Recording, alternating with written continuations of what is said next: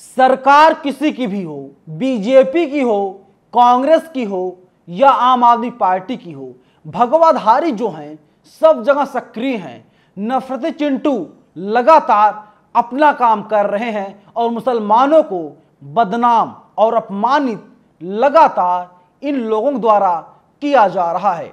नमस्कार, मेरा नाम है नवीन कुमार नंदन और आप देख रहे हैं नेशनल दस्तक। आप सोचिए, पहले आपको यही लगता था, जहाँ पर बीजेपी की सरकार है, वहीं पर ये भगवाधारी सक्रिय हैं, वहीं पर बजरंग दल, गौरक्षा दल, ये लोग वहीं पर सक्रिय हैं, ऐसा बिल्कुल नहीं है।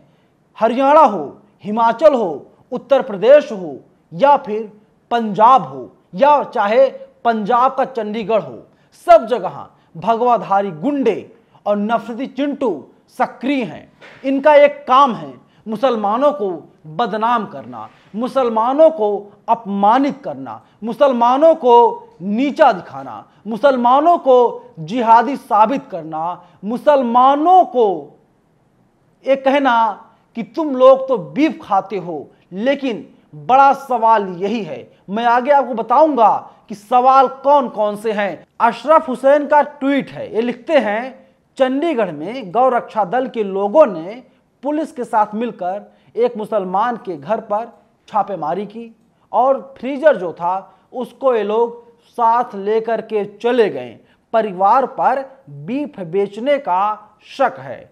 पुलिस तो ठीक है, पर गौ रक्षा दल वालों को इजाज़त है क्या किसी के घर में रेड डालने का, यानी छापा डालने का?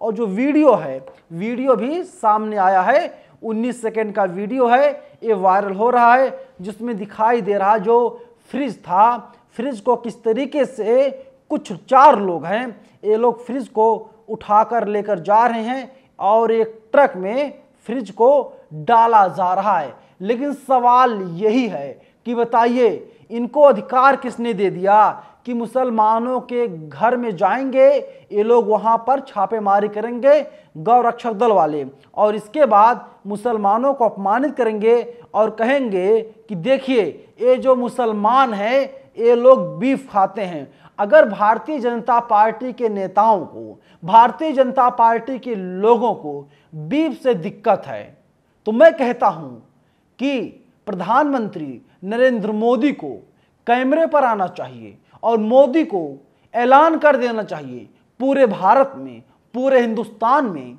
या फिर पूरे इंडिया में कहीं पर गाय को नहीं काटा जाएगा, कहीं पर बीफ नहीं बेचा जाएगा और जो भी व्यक्ति बीफ बेचते हुए पकड़ा जाएगा, उसके खिलाफ एनएसए यूएपीए या और किसी धारा के तहत कार्रवाई की जाएगी। लेकिन भारतीय जनता पार्टी ऐसा नहीं कर रही है। भारतीय जनता पार्टी के जो तमाम नफरती चिंटू हैं गौरक्षा दल वाले हैं, ये लोग कुछ ही राज्यों में सक्रिय हैं।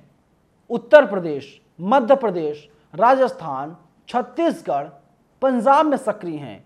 इनकी हिम्मत नहीं है कि ये लोग मेघालय चले जाएँ, क्योंकि मेघालय का प्रदेश अध्यक्ष, बीजेपी का, खुद कहता है कि मैं तो बीफ खाता हूँ, इस पर कोई पाबंदी नहीं है। पार्टी को भी, यानी बीजेपी को भी बीफ से कोई दिक्कत नहीं है। यानी नरेंद्र मोदी, अमित शाह, जेपी नड्डा, ये सभी लोग कहते हैं, मेघालय बीजेपी चीफ से तुम बीफ खाओ, हमें कोई एतराज़ नहीं है। मैं आपको 2015 का बयान है, अमित शाह का। दैनिक जागरण ने इसको छापा है। मैं आपको दिखा देता हूँ, अमित शाह का बयान क्या है? गोमांस पर देश भर में रोक नहीं जन भावनाओं का रखा जाएगा ख्याल। अमित शाह जब भारतीय जनता पार्टी के राष्ट्रीय अध्यक्ष थे, तब कहते थे, ये कहते थे कि देखिए जागरण ने लिखा जो भाजपा अध्यक्ष अमित शाह ने यहाँ संवाददाता सम्मेलन में कहा कि जहाँ भी भाजपा की सरकार है, वहाँ गोमांस पर प्रतिबंध लगाने से पहले हम लोग जनता की भावनाओं का ध्यान रखेंगे। हमने यह नहीं कहा है कि हम लोग देश भर में गोमांस पर प्रतिबंध लगाएँगे। महाराष्ट्र और हरियाणा की भाजपा सरकार ने गोमांस पर प्रतिबंध लगाया है। अब आप सोचिए कि अमित शाह कह रहे हैं, पूरे भारत में गोमांस पर प्रतिबंध नहीं लगाया जा सकता। वहीं सात महीने पहले दैनिक भास्कर ने एक रिपोर्ट छापी है। आप उस रिपोर्ट को भी देख लीजिए। मेघालय बीजेपी चीफ बोले, मैं बीफ खाता हूँ। कहा, इस पर कोई पाबंदी नहीं। पार्टी को भी मेरे खान पान से दिक्कत नहीं है। मेघालय में बीजेपी के प्रदेश अध्यक्ष अर्नेस्ट मावरी ने कहा, वे बीफ खाते हैं। और इससे उनकी पार्टी को कोई दिक्कत नहीं है। मेघालय और नागालैंड में 27 फरवरी को वोटिंग होनी है। हालाँकि ये खबर पुरानी है, जैसा कि मैं कह रहा हूँ और बता भी रहा हूँ, लेकिन आप सोचिए कि भारतीय जनता पार्टी को दिक्कत किससे है? भारतीय जनता पार्टी सिर्फ़ राजनीति के लिए गाय का इस्तेमाल करती है। आप चले जाइए, उत्तर प्रदेश, आप चले जाइए, मध्य प्रदेश, आप चले जाइए और अन्य बीजेपी शासित राज्यों में। आप जाइए, देखिए।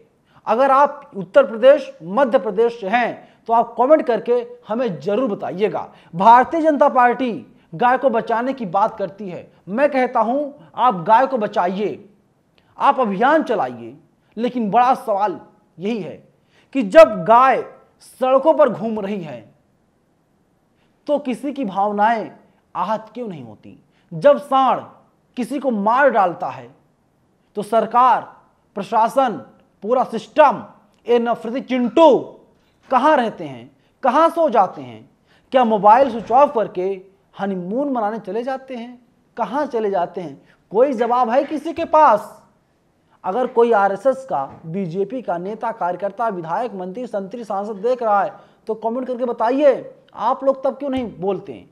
और आप बताइए, चंडीगढ़ में शक के आधार पर मुसलमान के घर में बीफ है, वो बीफ बेचता है। वहाँ पर ये लोग चले जाते हैं, पुलिस के साथ मिल करके वहाँ पर छापेमारी करवाते हैं। फ्रीजर को अपने साथ लेकर जाते हैं और पता चलता है कि सिर्फ़ शक के आधार पर छापेमारी की गई थी। हम लोग किस तरफ़ जा रहे हैं? किस नए भारत का निर्माण हम लोग कर रहे हैं? अपने आप में बहुत बड़ा सवाल यही है। दैनिक भास्कर ने इस पर रिपोर्ट की है। चंडीगढ़ के घर में मिला बीफ मतलब जज बन गया है दैनिक भास्कर। कह रहा है बीफ मिल गया। पुलिस ने फ्रिज भी कब्जे में लिया। घटना के बाद हिंदू संगठनों में रोष है। आगे लिखता है, देखिए। चंडीगढ़ की इंदिरा कॉलोनी के एक मकान में बीफ होने की सूचना पर पुलिस पहुँची। पुलिस कर्मचारियों ने वहाँ पहुंचकर फ्रिज को कब्जे में ले लिया। पुलिस ने आरोपी को हिरासत में लेकर के कार्रवाई शुरू कर दिया। पुलिस ने कहा, सो गौर कीजिए, पुलिस ने कहा, अगर बीफ की बात साबित हो जाती है तो कानून के तहत कार्रवाई की जाएगी। बीफ होने के मामले में राष्ट्रीय बजरंग दल और श्री हिंदू तख्त ने निंदा की और मांग की, आरोपी के खिलाफ सख्त कार्रवाई होनी चाहिए। यानी हेडलाइन में दैनिक भास्कर जज बन गया है। कह रहा है कि घर में बीफ है, बीफ मिल गया है। और जब रिपोर्ट लंबी चौड़ी करके लिख रहा है तो कह रहा है कि पुलिस कह रही है कि एक मकान में बीफ है, उसकी जानकारी मिली थी। यानी अभी खबर आधिकारिक तौर पर सही नहीं है, पुष्टि नहीं की गई है कंफर्मेशन पुलिस द्वारा नहीं दी गई है। लेकिन दैनिक भास्कर साहब लिख दिया, घर में बीफ मिला।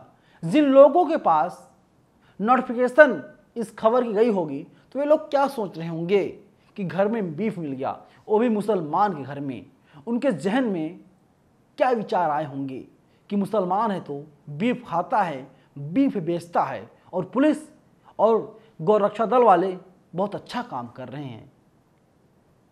आप कल्पना कीजिए कि हमारे भारत को किस तरफ़ धकेलने की कोशिश लगातार की जा रही है और राजनीति करनी है गौ रक्षा दल वालों को तो ये लोग लगातार इस पर राजनीति कर भी रहे हैं। लेकिन सवाल वही खड़ा होता है कि आप बताइए, अमित शाह को, जेपी नड्डा को, बीजेपी के प्रदेश अध्यक्ष को वीप से कोई दिक्कत नहीं है। एक गौ रक्षा दल वाले होते कौन है साहब? अगर नरेंद्र मोदी, अमित शाह, जेपी नड्डा को बीप से दिक्कत है तो मैं फिर से कहता हूँ, आज ही ऐलान कर देना चाहिए, पूरे भारत में कोई भी व्यक्ति गाय को नहीं काटेगा। गाय मांस नहीं खाएगा गोमांस नहीं खाएगा, और अगर कोई गोमांस खाता है, उसके खिलाफ एन या यूएपीए के तहत कार्रवाई की जाएगी। लेकिन ये भारतीय जनता पार्टी साहब सिर्फ़ राजनीति करती है। ये कहती है, काउ बेल्ट काउ बेल्ट, समझ रहे हैं? मतलब कि जहाँ पर इन लोगों ने गाय को माता घोषित कर दिया है, लेकिन जब इन्हीं लोगों से कहा जाता है, मैं कहता हूँ कि मांग करो गाय को राष्ट्रीय माता घोषित किया जाए, राष्ट्रीय पशु घोषित किया जाए तो इनके मुँह में दही जम जाता है। ये लोग कुछ भी नहीं बोल पाते हैं। फ़िलहाल इस वीडियो में इतना ही, लेकिन आप लोग अपनी राय कमेंट बॉक्स में हमें ज़रूर बताइएगा कि भारतीय जनता पार्टी का एक जो दोहरा चाल, चरित्र और चेहरा है, कब तक ऐसे लोग काम करते रहेंगे? शुक्रिया। नेशनल दस्तक की आपसे गुजारिश है कि अगर इसको बचाना चाहते हैं तो नेशनल दस्तक को सब्सक्राइब करने के लिए रेड कलर के सब्सक्राइब बटन को दबाएँ। फिर बेल आइकन की घंटी दबाएँ। नेशनल दस्तक को बचाने के लिए बहुत ज़रूरी है कि हर खबर को शेयर करें लाइक करें कमेंट ज़रूर करें।